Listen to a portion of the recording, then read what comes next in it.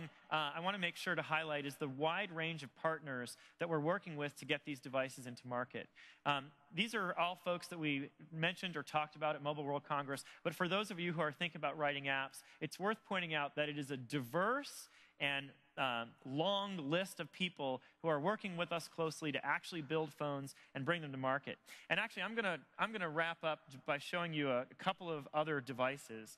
Um, what you saw, actually, if we could switch back to the, the, uh, the stage camera here, that would be great. Okay, sorry, here we go. So this first device, the one we've been demoing on, is a device from ASUS. Um, they're one of our good engineering partners, and they've been building a lot of the prototype hardware that you've seen. I have a couple more I'm going to show you. So that's one. I want to especially thank all of these companies.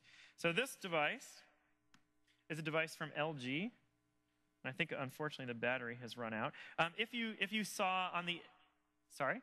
Somebody else? No. Uh, if you saw on the Engadget show, we showed this device. Uh, it's a nice slim form factor, and this device in particular is notable because it has a landscape keyboard. So it's one of the first part hardware companies that we're working really closely with on the design of a keyboard device. Nice, small, light uh, keyboard. And then the last one, which we have not shown yet, that I want to show, is a Samsung device. Uh, this device is a slate Really nice bright screen. And on the back, you can see one of the things that is a super nice feature of this device is it has a terrific camera.